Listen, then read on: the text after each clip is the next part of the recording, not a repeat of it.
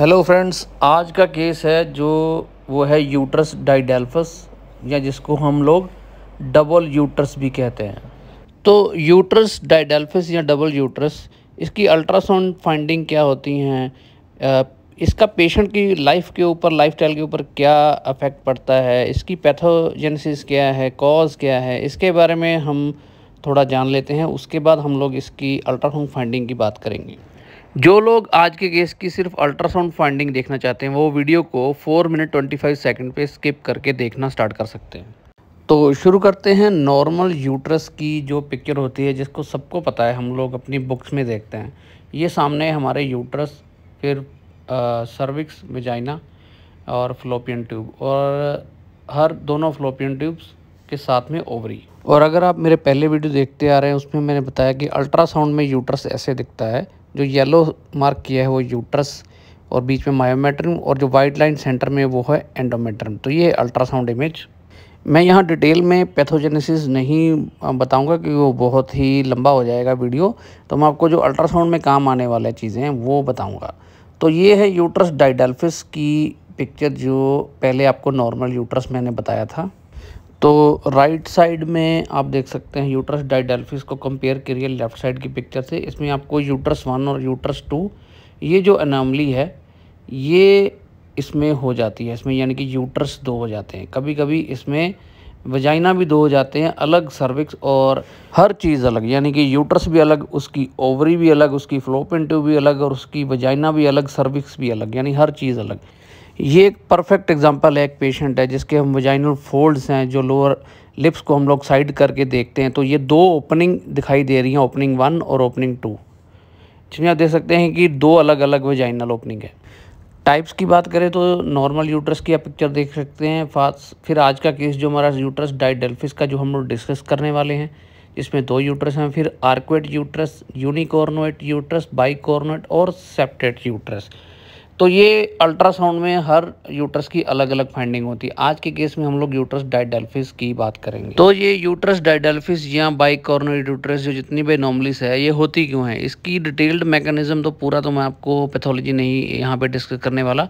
तो मोटे तौर पर बता देता हूँ कि जब बच्चा पेट में बन रहा होता है स्टार्टिंग फेस में माँ के पेट के अंदर तो मलेरियन डक्ट जो होती हैं, उनका जो फ्यूजन होता है वो हो नहीं पाता है और किसी वजह से तो जिसकी वजह से ये जो एनोमलीज दिखने को मिलती हैं जैसे यूट्रस डाइडेल्फिस दो डबल यूट्रस जिसको कहते हैं या फिर बाइकॉर्नर यूट्रस या सेप्टेड यूट्रस ये सारी एनोमलीज उसकी वजह से देखने को मिलती हैं कि इसकी फ्यूजन जो मुलेरन डक्ट की वो हो नहीं पाती है। तो ऐसे केसेस में जो आ, मदर है उनको जो प्रेगनेंसी है वो डबल भी हो जाती है, यानी कि अलग अलग फ्लोपियन ट्यूब में ट्विन प्रेगनेंसी एक अलग यूट्रस में और दूसरी अलग यूट्रस में। ऐसा भी देखने को मिलता है। साइंस एंड सिम्टम्स की बात करें तो वैसे तो पेशेंट को कोई भी साइंस या सिम्टम्स नहीं होते। जब तक कि वो नॉर्मल अपना रूटीन चेकअप करवाने के लिए डॉक्टर के पास जाते हैं, तब अल्ट्रासाउंड में पता चलता है। या फिर उसको नॉर्मल लाइफ में साइंस और सिम्टम्स ये हो सकते हैं कि उसको ये अब नॉर्मल पीरियड्स और जो मिस कैरेज यानी बार बार मिस कैरेज होना बार बार प्रेगनेंसी कंसीव करने में प्रॉब्लम होना, ये सारे सिम्टम्स और पेन होना थोड़ा पेल्विक में और ब्लीडिंग होना, ये सब हो सकते हैं। डायग्नोसिस की बात करें तो इसका जब, पहले तो अल्ट्रासाउंड में ही हमको डाउट रहता है, जबकि ये तो क्लियर इस केस में तो क्लियर डबल यूट्रस दिख रहा है, यानी ये यूट्रस डायडेल्फिस है, लेकिन बाइकॉर्नेट यूट्रस और सेप्टेड यूट्रस ये थोड़ा डायग्नोस करना मुश्किल होता है तो इसका डेफिनेटली डायग्नोसिस या तो एमआरआई से या हिस्ट्रो सेल्फ से हम लोग कर सकते हैं।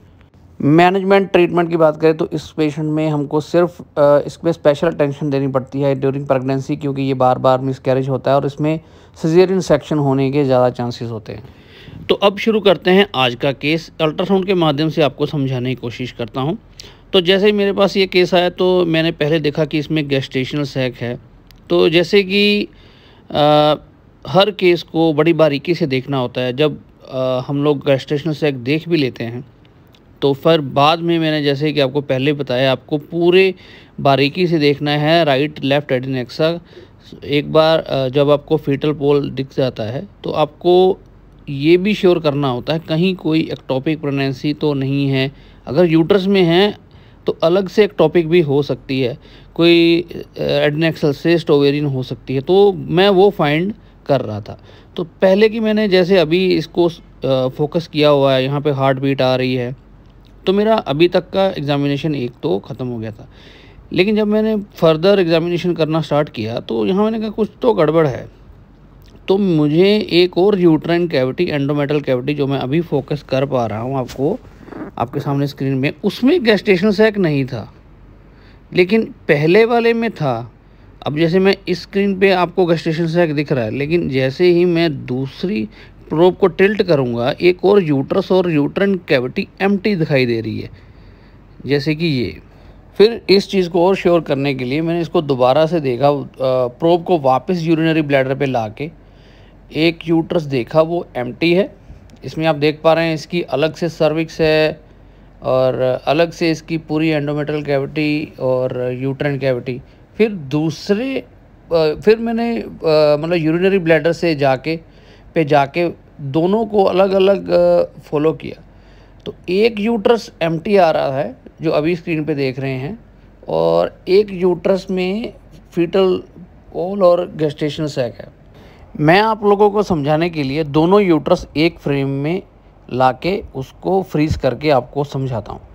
ये वो फ्रेम है, जिसमें दोनों यूट्रस दिखाई दे रहे हैं। यूट्रस ए और बी हम लोग नाम दे देते हैं। और इस फ्रेम में दोनों अलग अलग यूट्रस दिखते हैं। अब अब हमें करना क्या है? हम इस वाले यूट्रस को अगर फोकस करना तो वहाँ से स्टार्ट करते हुए जाएँगे और देखेंगे कि उसमें क्या है। वो एम था, लेकिन अब दूसरे वाले यूट्रस को हमने फोकस किया फॉलो किया तो उसमें हमें गेस्टेशन से आएगा तो फिर से एक बार मैं पहले वाले यूट्रस में जाता हूँ, उसकी यूट्रन एंडोमेट्रल कैविटी बिल्कुल एम्प्टी है, कुछ नहीं है। अब मैं वापस से फिर राइट साइड वाले में आता हूँ, इसको फॉलो करता हूँ तो इसमें गैस्टेशन सैक है। तो ये बहुत ही इंटरेस्टिंग और बहुत ही, और यूनिक केस है। ऐसे केसेस हमें लाइफ में बहुत कम देखने को मिलते हैं। कभी कभी आते हैं और मिस हो जाते हैं रेडियोलॉजी से भी, जो सोनोग्राफर हैं सोनोलॉजिस्ट उनसे भी।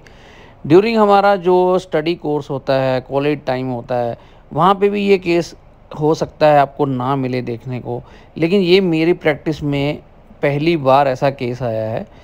प्रॉपर जिसमें दो अलग अलग यूट्रन कैविटी अलग अलग दो सर्विक्स और दो फ्लोपियन ट्यूब्स दो अलग अलग इनकी ओवरीज तो ये था हमारा आज का केस। कैसा लगा आपको? ऐसे और भी केसेस देखने के लिए हमारे चैनल को सब्सक्राइब कीजिए।